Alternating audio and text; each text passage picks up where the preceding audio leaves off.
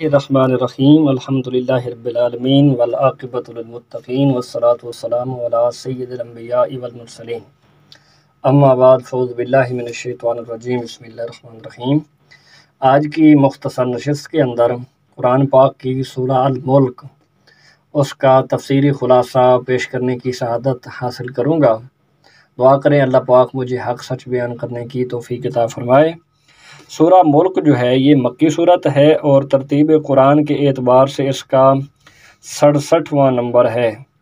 जबकि नज़ूल कुरान के एतबार से इसका छिहत्तरवां नंबर है। इस सूरत की पहली आयत के अंदर अलमुल्क का कलमा मज़कूर होने की वजह से इसको सूरा अलमुल्क कहते हैं।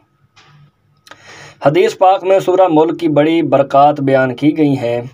इसे निजात देने वाली और हिफाजत करने वाली कहा गया है।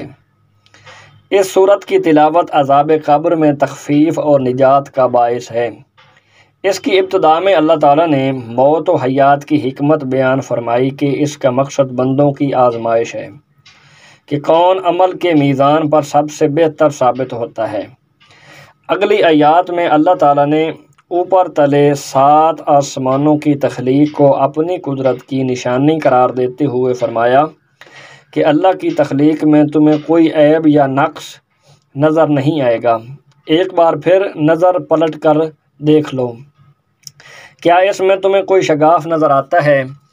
फिर बार बार नज़र उठा कर देख लो।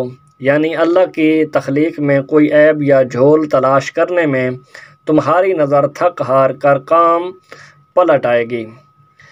आसमान अव्वल के नीचे ला लातदार चमकते तारों को अल्लाह ताला ने कुम कुम से ताबीर फरमाया है। आयत नंबर आठ से कुफ़ार और जहन्नम के मुहाफ़ के दरमियान जो मुकालमा होगा, उसका बयान फरमाया। उनके एतराफ़ जुर्म और अजाब जहन्नम जब तक के मोमिन के लिए मगफ़रत और बड़े अजर का भी बयान साथ फरमाया है।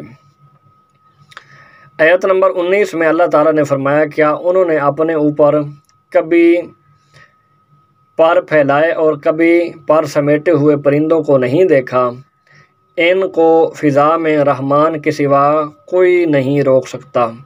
आयत नंबर 20 से अल्लाह ताला की मदद करने और रिज़्क अता फरमाने का बयान किया गया है। आयत नंबर 23 में फरमाया कि अल्लाह वो है जिसने तुम्हें पैदा किया और तुम्हें सुनने, देखने, समझने की सलाहियतें अता फ़रमाई। मगर कम बंदे जो हैं वो अल्लाह की नेमतों का शुक्र अदा करते हैं। आखिरी ऐत में फ़रमाया कि आप फरमाइए, भला ये बताओ, अगर सुबह को तुम्हारा पानी ज़मीन में उतर जाए तो तुम्हारे पास बहता हुआ पानी कौन ला कर देगा? ये था सूरा अलमुल्क का तफसीरी ख़ुलासा दुआ अल्लाह करीम की बारगाह के अंदर। अल्लाह पाक हमें कुरान समझने की, सीखने की अमर पैरा कर अमर पैरा होने की तोफ़ी ता फ़रमाए। वाखिर उदावाना अलहमदिल्ला रबालमीन